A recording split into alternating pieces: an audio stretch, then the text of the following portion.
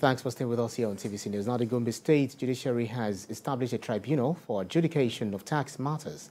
The tribunal would be responsible for all disputes relating to taxes, assessment, fines, and recovery. Our correspondent, Larry Adeyemi, reports. Gombe State is ranked first in the ease of doing business by the National Bureau of Statistics. This accolade is one that the state is working on improving upon.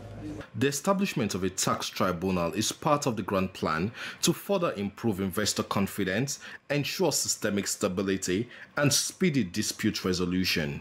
Legal professionals want members of the tribunal to adjudicate with these goals in mind. I urge the tribunal to have a sense of justice and fairness in application of the law.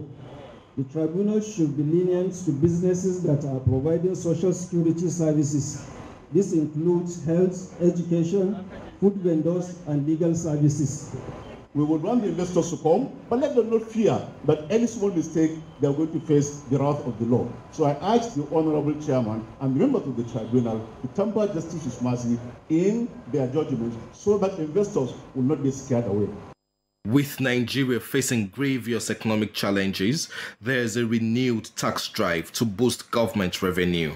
The tax tribunal ensures that erring individuals and organizations are compelled to meet their obligations.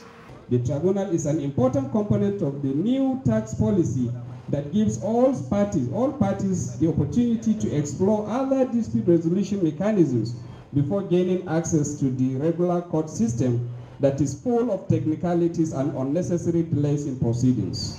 It is my hope that the establishment of this tribunal will curb the incidence of tax evasion, guarantee fairness and transparency of the tax system, enhance taxpayers' confidence, provide a speedy determination of matters. Gombe State monthly tax revenue has almost tripled in four years, growing from an average of 240 million in 2018 to over 600 million in 2022. The tribunal protects all sides of the tax equation, yet it is expected that revenue that would accrue to the government would increase. Landry Adeyemi, TVC News, Gombe.